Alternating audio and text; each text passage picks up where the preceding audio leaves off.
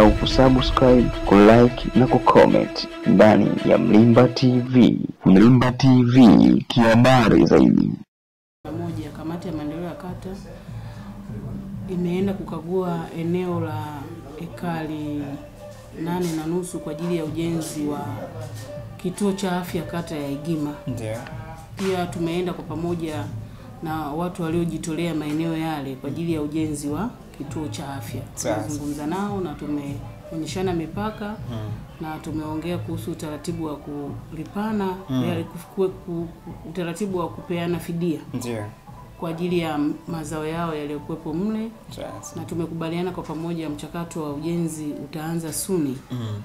baada ya kikao cha leo, kwa sababu utaratibu mwingine ulishaanza na wananchi kuwa na taarifa wa kitongoji kile cha Marumbo wana taarifa kwamba kituo cha afya kinaanza Mm. Mapema sana. Sawa sawa.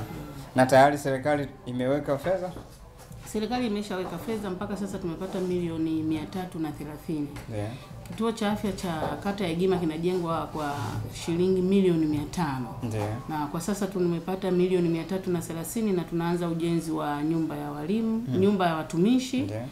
pia tunaanza ujenzi wa OPD kwa ajili ya mapokezi ya wagonjwa wa nje na vyoo vya nje matundu sita, Sawa sawa. na mafundi wako kwenye utaratibu, tunaanza mapema sana. Sawa.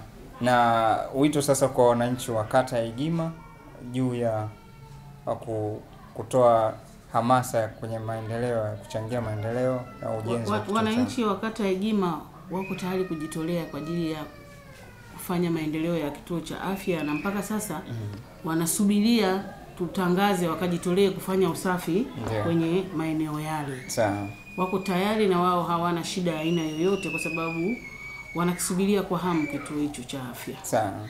Na changamoto ambazo wanakutana nazo wasipokuwa na kituo hiko cha afya? Kata ya Igima haina zahanati wala kituo cha afya. mm. Changamoto wanazozikutana nazo ni kubwa sana, yeah. kwa sababu lazima tukimbie kata jirani, mm. lakini kata Kijali ni, ni zahanati pia. yeah. Ukipata shida kubwa hata saa nane za usiku tunapata gharama ya kumtoa mwananchi hapa kata ya Igima kumpeleka St Francis ama kwa masista ambayo ni gharama kubwa sana mm. lakini baada ya kumaliza kituo chetu hapa kila kitu kitakuwepo hapa Sawa sawa. kwa hiyo wananchi hawatapata shida kwa sababu kutajengwa theater hmm. kutajengwa mochwali kutajengwa sehemu ya kulaza wagonjwa na madaktari watakuwa